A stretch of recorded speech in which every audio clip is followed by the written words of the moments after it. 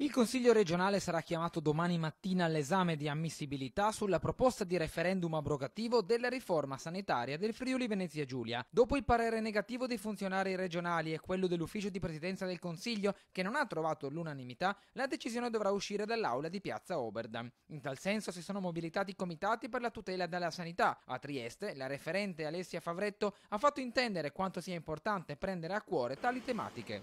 Noi ci siamo impegnati fin dal novembre 2014 2014 per raccogliere delle firme che ci dessero a livello indicativo qual è il sentore delle conseguenze di questa riforma sanitaria che in un anno e mezzo in effetti ha fatto grossi danni per quanto eh, ne pensano i cittadini. Ci siamo riuniti con i comitati spontanei di cittadini che sono nati un po' in tutta la regione e ben nove di questi comitati sono confluiti all'interno del comitato referendario per l'abrogazione della riforma sanitaria.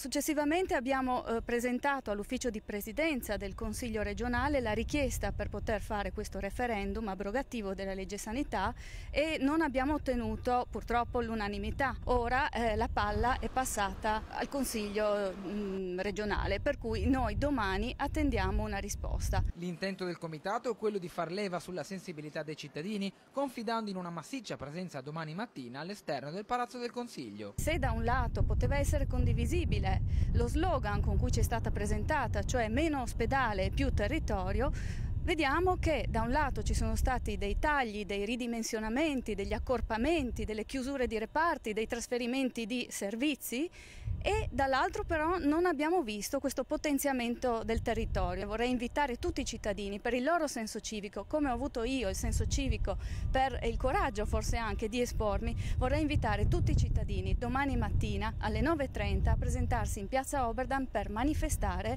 a favore della difesa della nostra sanità pubblica.